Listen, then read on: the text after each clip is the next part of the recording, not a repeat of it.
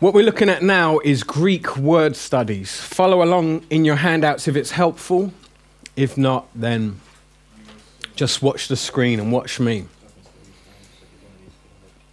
Now, Greek word studies is when you look up a word in the Greek language in the New Testament and you try and learn more information about what this word means. You're very limited if you try and do word studies in English. It's very hard to do, as we'll see later on. Uh, especially we get words like thlipsis, word for tribulation. Uh, it's translated all kinds of different ways in the Bible. Some people think tribulation, whoa, some weird word. You see it loads of times about distress and affliction. Very interesting seeing where it's used in Thessalonians. Very interesting. Have any of you got my Revelation teaching? You, you see that. Um, but this is stuff you see in the Greek that it's very hard to see in English, but there's rules to doing it okay? And we've all got to show a bit of humility now because we're probably all going to start seeing stuff that we do that we shouldn't do. And it's a process for all of us. The stuff that I'm showing you guys is stuff that I've come across myself where I've been like, oh, I shouldn't be doing it this way. I'm, I'm not doing it accurately, but we all want to be handling the word of God correctly. So there's nothing wrong with thinking, ah, oh, this is, I, I do it this way though, and he's saying it's wrong. What I'm showing you is the kind of general guidelines that um, evangelical Greek scholars give people in how to do word studies. So, rules of word searches. To start off with, first thing you've got to do is find the word to look up. Now, you might find that's a bit of a funny thing to say, but there is actually a, an art in finding the right word to look up. If you're teaching on 17 verses of Matthew, you're not going to do a word study on every single verse um, because you're not going to have an, uh, on every single word because then you're not going to have enough time. You're going to run out of time what you do is you look in a verse and you say, what is the key word here? And quite often you'll be looking for like um, repeated words um, key, or words where without that word the verse loses its meaning. I think we covered that a bit on the scripture sculpture method. Um, you, you, or yeah, a word where you're like, if we took this out, the verse would take on a whole new meaning, or it would completely lose its meaning. So I want to look up this verse. Or John's used this word about five times in the last 10 verses, so I'm going to look it up, see what it means. So you're not looking up every word, you're looking up key words. When you've done that, the next thing is to find the semantic range. Now, you're all going to do this process in a minute, so don't worry if it's not sinking in quite at the moment. The semantic range means all the different ways that word is used. Okay, someone tell me in English, what does the word run mean?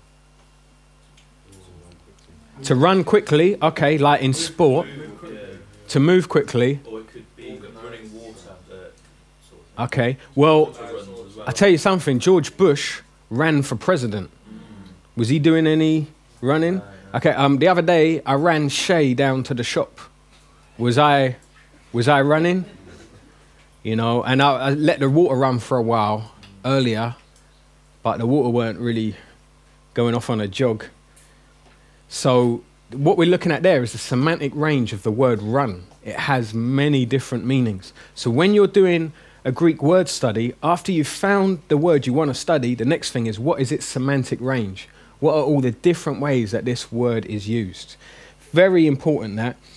Um, next thing is that you compare the semantic range to the context. Okay, very important. A lot of people stop. They look at the semantic range and they say, My sermon would be banging if I pick this one meaning here.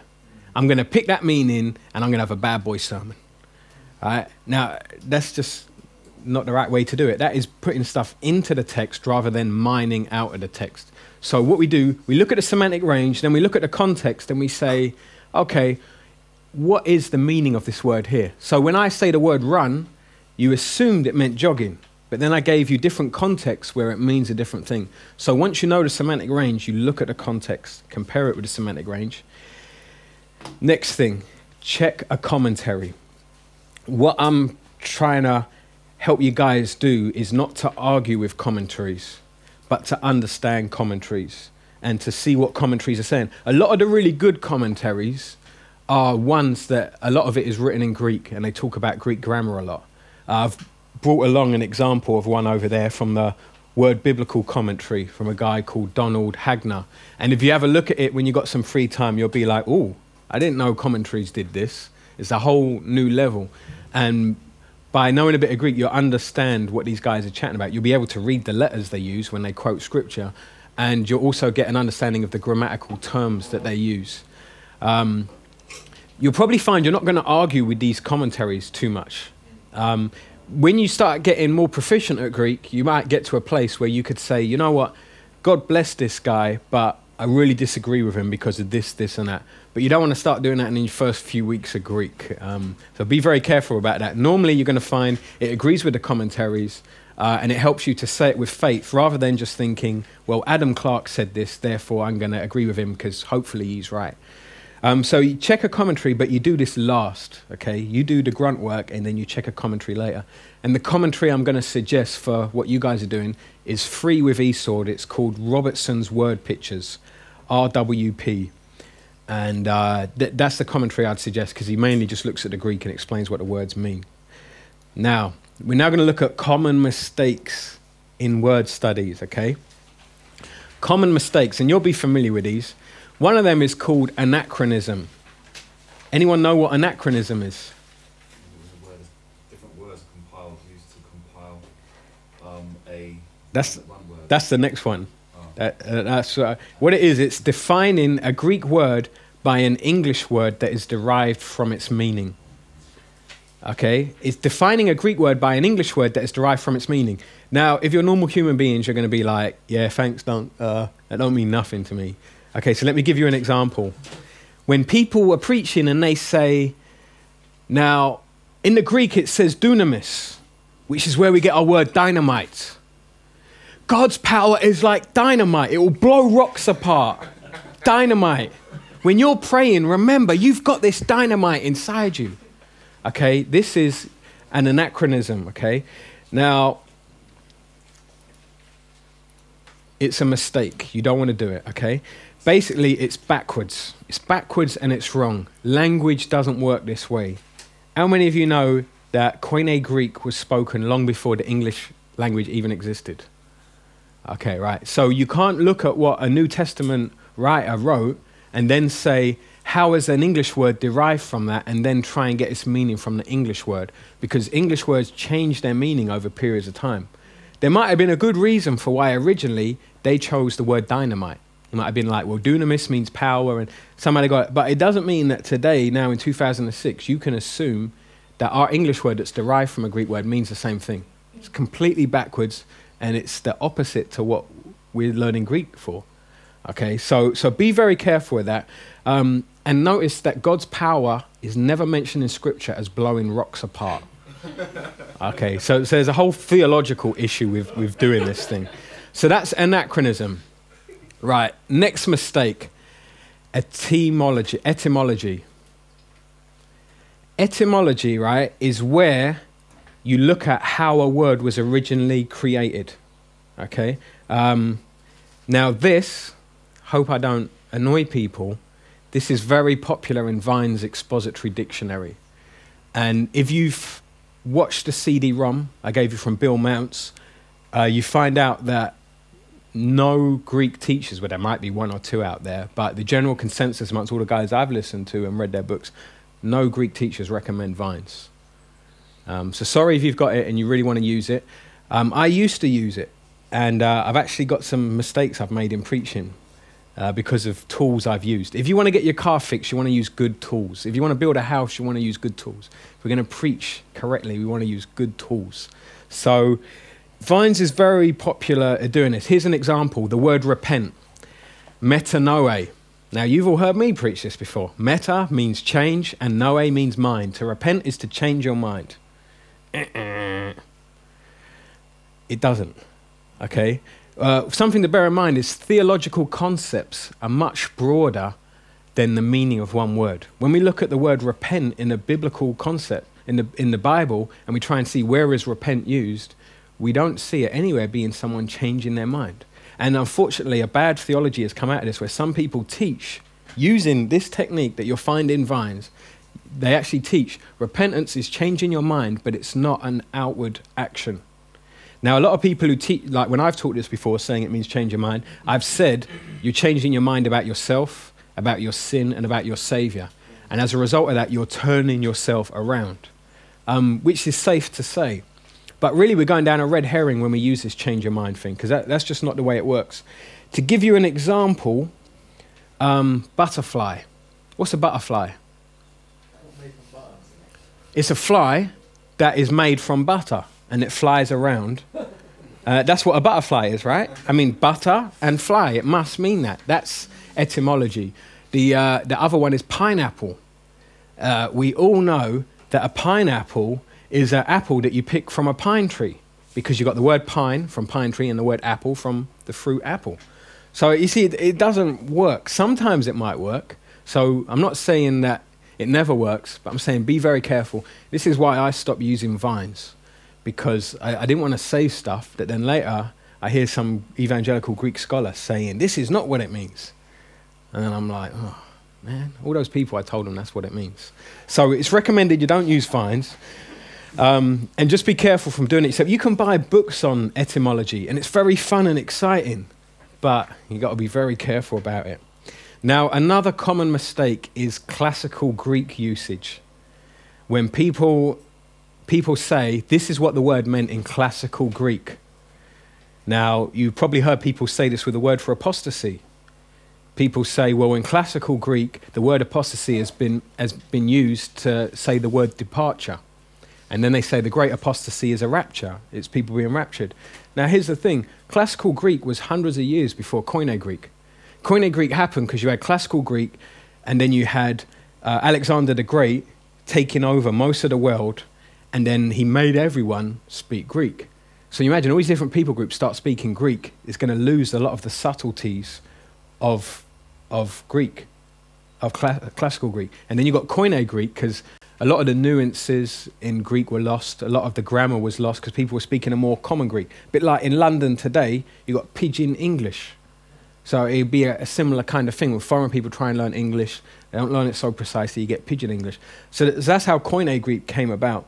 You can't then look at how a word was used 300 years before and say, aha, it meant departure. So therefore, I am going to say it means departure. What you've got to do instead is see what does it say in the New Testament? How is it used in the New Testament? So the meaning of a word a few hundred years before the New Testament does not necessarily have the same meaning in the New Testament.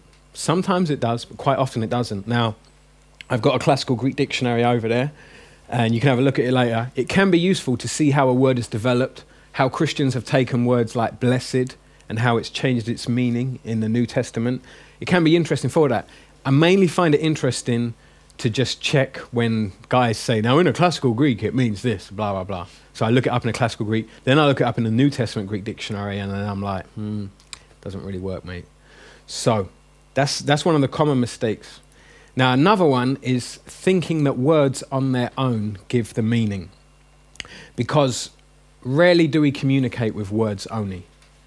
Normally, our words are linked with phrases and sentences and paragraphs.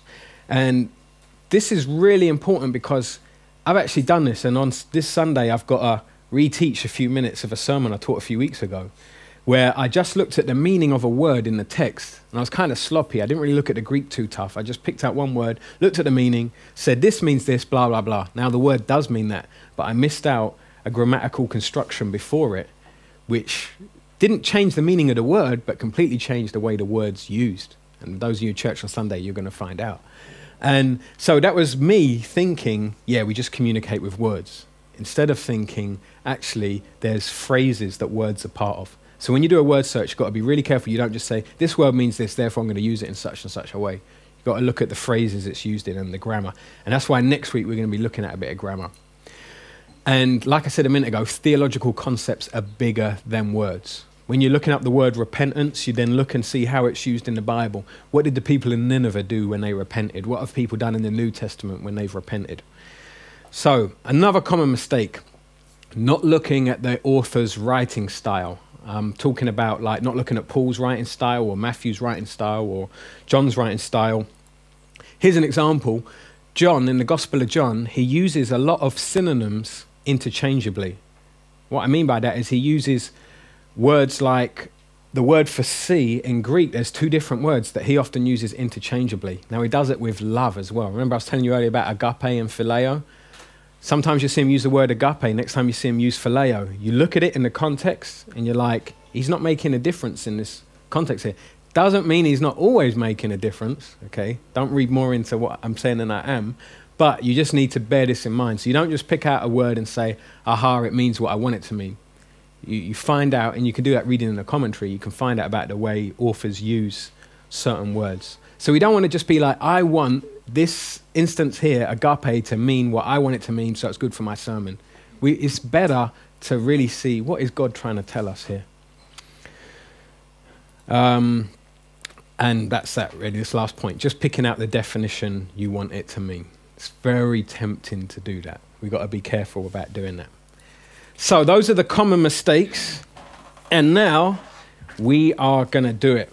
So, take a handout and pass it on. Coming I had a question. Yeah. You see, like the, the author's writing style and interchangeable use of words in John's example. Yeah. How, you know, when you kind of have the whole issue of the, the word is in error in its original manner. Yeah. How do you, how, how are you able to, is there, is there a, like a policy or a principle that you can apply to knowing that that wasn't how the Holy Spirit inspired him to say? Yeah, with hermeneutics, which we're not going to cover um, on this course, but one, one of the things you look at is what language was Jesus speaking most of the time when he's chatting to Aramaic? Yeah? Some argue that it was Hebrew. Hebrew and Aramaic, they're very close to one another. Um, one of the things you could do is when you're looking at the Greek, you could do some research and see are these two different words used in Aramaic?